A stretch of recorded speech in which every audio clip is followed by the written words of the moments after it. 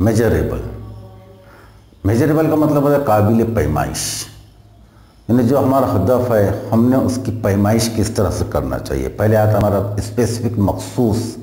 सबसे पहले तो हमें डिसाइड करना है कि हमें कौन सा गोल हासिल करना है, फिर उसका मेजरेबल मेजरेबल जब तक कि हमारे अंदर नहीं शामिल होंगी, तब तक कि हम किसी भी चीज़ को आसानी के साथ में हासिल नहीं कर सके। हमें बहुत ज़्यादा परेशानी और दिक्कतों का सामना करना पड़ सकता है।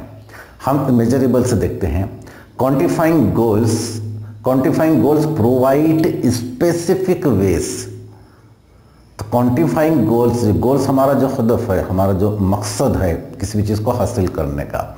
हमें उससे पहले क्वान्टिफाई करना चाहिए। क्वान्टिफाई का मतलब होता है उसको पहले हमें जांचना चाहिए, उसको पड़तालना चाहिए, उसका म्यार तयन करना चाहिए कि उसको पहले हमने जाँच पड़ताल करना चाहिए क्वान्टिफाई करना चाहिए, उसको पहले जाँच लेना चाहिए क्वान्टिफाई करना चाहिए, उसकी पैमाइश कर लेना चाहिए, जो भी हमारा गोल है तो। क्या हाँ हम इस गोल को हासिल कर सकते हैं या नहीं कर सकते हैं? यह हमारे लिए लाइबल होगा या नहीं होगा? हम इसके लिए लायक है या नहीं? जैसे ऊपर दो एस्पेक्ट दिया तो हमने। सबसे पहले तो हमें अपनी जहानत का अपने सेंस का तयन करना चाहिए। हमारे लिए हो सकता है या नहीं हो सकता है।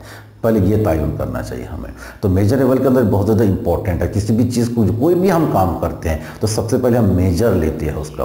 विदाउट मेज़रमेंट के हम किसी भी चीज़ को नहीं कर सकते हैं। हर चीज़ का मेज़रमेंट होता है। भले ही उसका हमको अंदाज़ा नहीं होता है, चाहे हम अगर रोटी बना रहे हो या खाना बना रहे हो तो उसका भी एक मेज़रमेंट रहता है। हर एक चीज़ का मेज़रमेंट रहता है। विदाउट मेज़रमेंट के हम किसी भी चीज़ को नहीं कर पाते हैं, नहीं कर सकते अच्छे से नहीं कर सकते हो तो जाता है, लेकिन उसका कुछ अंदाज़ा नहीं होता है कि ये कितने हद तक के सही होगा या फिर गलत होगा ज़्यादा हो जाएगा या फिर कम हो जाएगा ये हो सकता है। लेकिन अगर मेज़रमेंट हो गया तो हमारा जो काम है, वो इन बहुत आसानी के साथ में बेहतर तरीके से हल हो सकता है। तो ये कहता है कि क्वान्टिफाइंग गोल्स हमारे जो गोल्स है, उसको हमने तयन कर, उसका पैमाइश तय करना चाहिए, उसको पैमाइश। तो ये क्या करेगा हमारे लिए? फिर प्रोवाइड्स स्पेसिफिक वेज हमें देगा प्रोवाइड्स करेगा। सिंपल फ्रेज है प्रोवाइड्स प्रोवाइड्स स्पेसिफिक मखसूस रास्ते देगा फिर हमारे लिए।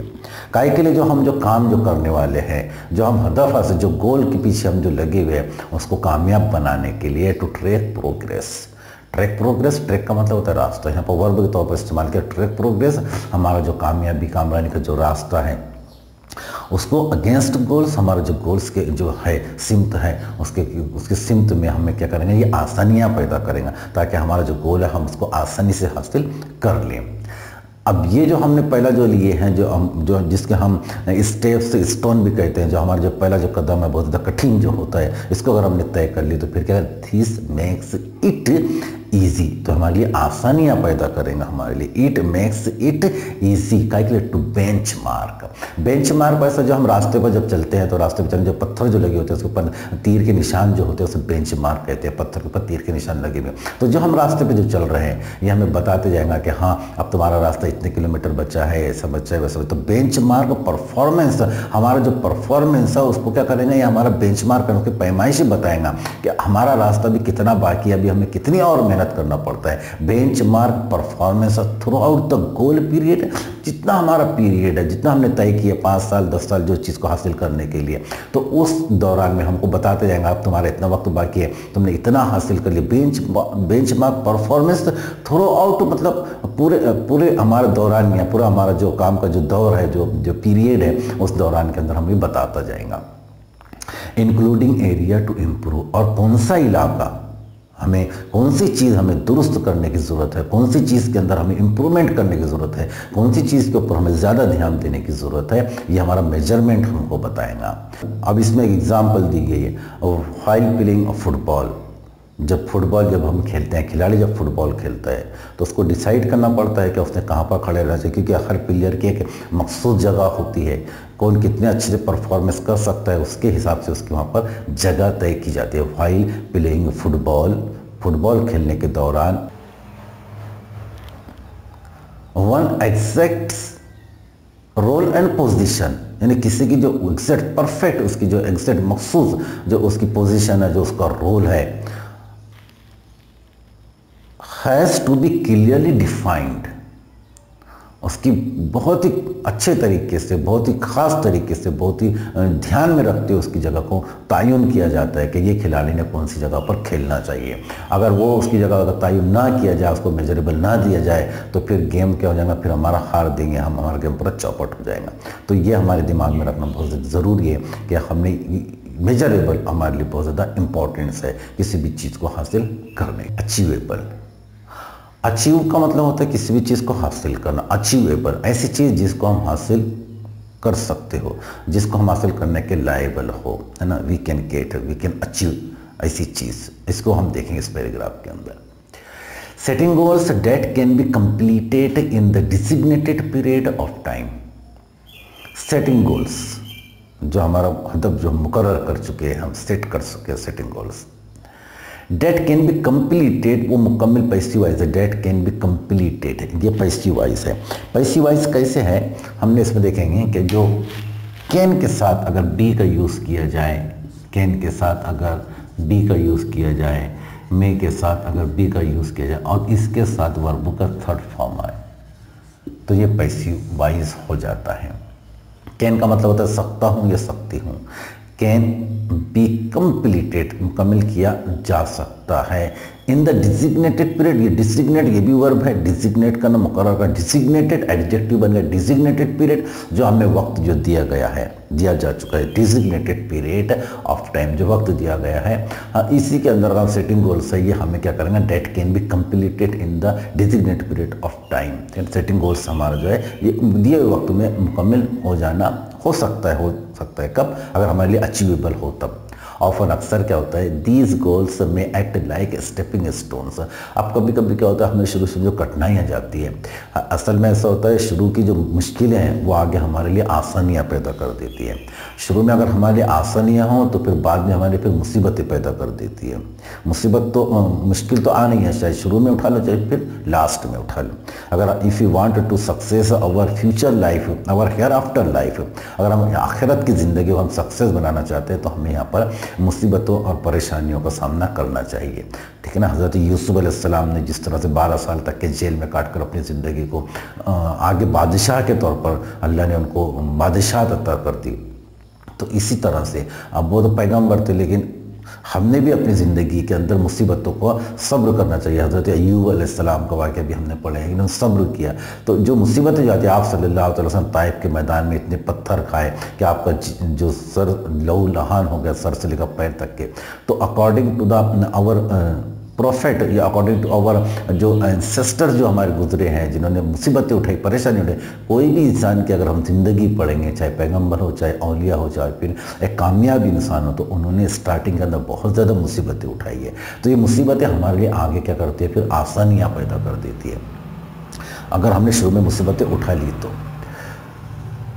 दीज गोल्स तो ऑफन दीज गोल्स में एक्ट लाइक स्टेपिंग स्टोन्स ये शुरू शुरू में क्या करती है? दीज गोल्स में एक्ट लाइक क्या करते हैं? शुरू शुरू मुसीबत step stepping stone to help हमारी शुरू ये स्टेपिंग स्टोन हमारी मदद करती है। शुरू में हमने जो मुसीबतें उठा ली, मदद करती है। कहीं के लिए broader goals that further define a career फिर ये हमारा जो आगे जो हमारा जो कैरियर है, ये हमारे लिए डिसाइड करने के लिए डिफाइन करने के लिए हमें बहुत ज़्यादा मदद करती है। अगर हमने शुरू में कठिनाइयाँ, परेशानियों का सामना कर लिया तो। अब इसमें एक एग्ज़ाम्पल दी गई है एज आई स्टूडेंट्स बहसीत तालब इल्म के। We can not become a president of prime ministers इसकी भी एक मियाद है, एक इसका भी एक पीरियड है, एक भी एक एज एबल दी गई हमारे को कि कितने पीरियड के अंदर हम इलेक्शन में खड़े हो सकते हैं या वोट दे सकते हैं। एज ए स्टूडेंट्स अगर हम अठारह साल के ऊपर हो तो बेशक कम कर सकते हैं, लेकिन अगर हम छोटे हों, अठारह साल से कम उम्र के हो तो हम प्राइम मिनिस्टर या फिर प्रेसिडेंट नहीं बन सकते हैं। लेकिन अगर हम इससे पहले का अगर दौर देखें तो अठारह साल, चौदह साल के अंदर लोग शहनशाह और बादशाह बड़े बड़े बन चुके हैं, ठीक है? तो वक्त वक्त की एक बात होती है, लेकिन हमारे यहाँ पर एक एक आर्टिकल लगा दिया गया है, हमारा मसूदा लिखा गया है कि इतने इतने साल में हम इलेक्शन में खड़े हो सकते हैं, इतने साल में हम वोट दे सकते हैं। लेकिन अगर हमने अभी से अगर उसका, अगर हमने जहन में तस्वुर कर लिया गोल्स अगर हमने डिसाइड कर लिया, क्या I have to be a president of India तो इन हम बन सकते हैं, लेकिन हमारा गोल उतना परफेक्ट उतना मज़बूत होना चाहिए। But can hope to reach those heights in future लेकिन हम फ्यूचर के अंदर उस हाइट तक पहुँचने के लिए हम कम से कम पहुँच सकते हैं, हमें ये उम्मीद होना चाहिए। अब हम यहाँ पर एक एग्ज़ाम्पल ऐसी देखते हैं कि अगर मुझे सौ मार्क एग्ज़ाम में हासिल करना है तो मुझे पढ़ाई सौ मार्क हासिल करने के हिसाब से ही करना चाहिए। है ना यानी अगर दस लेसन दिए गए तो पूरे दस लेसन मुझे परफेक्टली ए अगर हम जैसा करते हैं कि ए ग्रुप बनाते हैं बी ग्रुप बनाते हैं सी ग्रुप बनाते हैं, दस लेसन को डिसाइड डिवाइड कर देते हैं अलग अलग उसके अंदर। तो तीन भागों में कर देते हैं ए बी सी ए को बहुत अच्छे से पढ़ते हैं बी को कम पढ़ते हैं सी को कम पढ़ते हैं। तो वो कब करते हैं? पासिंग के हिसाब से या फिर फिफ्टी परसेंट के हिसाब से। लेकिन अगर मुझे हंड्रेड परसेंट अगर मुझे मार्क हासिल करना है तो उसके हिसाब से मुझे तमाम लेसन जितने भी दिए गए सबको ए ग्रेड के अंदर ही रखकर पढ़ना पड़ेगा। तब को परफेक्ट पढ़ना पड़ेगा। कोई भी लेसन आ मुझे इसका आंसर लिखना ही लिखना है। तो अगर हमने ऐसे किए तो इन हम अगर हंड्रेड की उम्मीद रखें तो हंड्रेड नहीं तो अट्ठानवे, पंचानवे, चौरानवे, तिरानवे मिल सकते हैं। अगर फिफ्टी परसेंट के हिसाब से पढ़े करें तो पचास से फिर हमें अड़तालीस, सैंतालीस, पैंतालीस, चौवालीस, तिरतालीस, इकतालीस, चालीस ऐसे हमको मार्क मिलेंगे, नीचे मिलेंगे। उसके बाद में आ रहा है रियलिस्टिक रियलिस्टिक का मतलब होता है हकीकत पसंद आना। हर एक चीज़ हकीकत से देखना चाहिए। दुनिया के हिसाब से हमें देखना चाहिए। रियलिस्टिक होना चाहिए हमारे जो अदब के अंदर। नहीं तो ऐसा नहीं कि हमारी को इतनी एबिलिटी है ही नहीं हमारे अंदर और हम उस चीज़ को हासिल करने की कोशिश कर रहे हैं तो वो हमसे नहीं हो पाएगा। रियलिस्टिक इट इज़ इंपॉर्टेंट बहुत ज़्यादा ज़रूरी है। It is important to create goals to create goal goal को क्रिएट का मतलब पैदा करना। टू क्रिएट गोल्स यानी कि गोल को बनाना। गोल को अगर हमें बनाना हो तो हमारे लिए बहुत ज़्यादा ज़रूरी है। क्या? That are within one's current skill set हमारे अंदर जो मौजूद है अभी, हमारे अंदर मौजूद अभी हमें, अभी हम जो डिसाइड कर रहे हैं तो हमारे अंदर वो स्किल करंट मौजूद होना चाहिए करंट स्किल सेट होना चाहिए। और एरिया ऑफ़ एक्सपर्टाइज जो एरिया में हम काम करना चाहते हैं, जो हदफ हम हासिल करना चाहते हैं, जिसका हमारे पास टाइम पीरियड जो भी है, उसके अंदर हमें माहिर होना चाहिए। ये चीज़ें हमारे अंदर होना चाहिए। बिल्डिंग एक्सपर्टाइज बिल्डिंग एक्सपर्टाइज से टैक्स टाइम बिल्डिंग एक्सपर्टाइज का मतलब होता है, जो हमारी जो एक्सपर्टाइज जो महारत है, हम जो हमारे अंदर पैदा करना चाहते हैं बिल्ड करना चाहते हैं, बनाना चाहते हैं तो ये भी टाइम लेते हैं, दरकार होता है। अगर मुझे स्विमिंग सीखना है तो मुझे टाइम लगेगा। अगर मुझे हॉर्स राइडिंग सीखना है तो मुझे टाइम लगेगा। अगर मुझे ड्राइविंग सीखना है तो हर चीज़ के लिए टाइम होता है। एकदम से कोई भी चीज़ नहीं हो जाती है। और जिसको जितना वक्त लगाना, वो उसमें उतना ही बेहतर से बेहतर होता चला जाता है। तो building expertise takes time simple presentation वक्त लेता ही है। So expecting to become an expert in a short amount of time is unrealistic तो कम पीरियड के अंदर अच्छा बनने की कोशिश करना, यह हमारे लिए आगे के लिए नुकसानदेह हो सकता है, नीम हकीम खतरा जा हो सकता है है ना?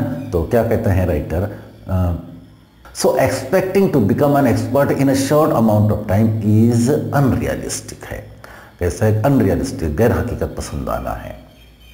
Being realistic will make it easier to be successful at attaining goals. हकीकत पसंद आना अगर हो गए तो ये क्या विल मेक इट इजी हमारे लिए बहुत ज़्यादा आसान करेगा। To be successful at attaining goals किसी भी हदफ को हासिल करने के लिए ये हमारे लिए बहुत ज़्यादा आसान कर देगा। अब क्या है? रियलिस्टिक हो जाने का मतलब है, हमने जान लेना चाहिए, हमने उससे आगाह हो जाना चाहिए कि ये हमारे लिए लाइबल है या नहीं है वो रियलिस्टिक हम कहेंगे उसको।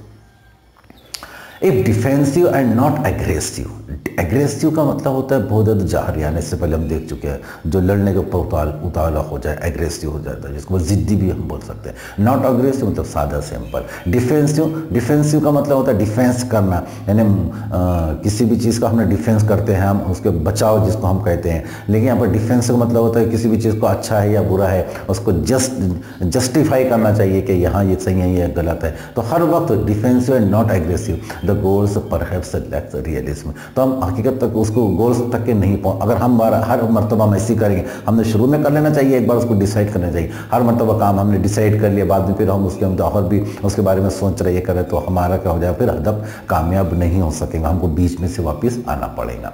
We must have the clear picture in mind we must have है ना? मस्ट है हमारे दिमाग में होना ही चाहिए मस्ट है the clear picture in mind हमारा जो खुदा है उसका क्लियर पिक्चर हमारे दिमाग में होना बहुत ज़्यादा ज़रूरी है। And must have the ability और हमारे अंदर फिर दूसरी एबिलिटी भी होना चाहिए। उस चीज़ को हासिल करने की काबिलियत भी होना चाहिए। To other dead to date picture उस पिक्चर को चिपा अध्ययन का मतलब होता है उसके पीछे लगे रहना, उसको हासिल करने के पीछे उसको लगे रहना। चिपक जाना जिसको हम बोलते हैं ना। टू अध्ययन टू डेट पिक्चर यानी जो हमारा जो गोल है, जो पिक्चर है, उसके पीछे हमने फिर चिमटा रहना चाहिए, उसके पीछे लगे रहना चाहिए। तो फिर हमको वो काम आसानी से मिल सकता है, हम उसके ऊपर हासिल कामयाबी हासिल कर सकते हैं।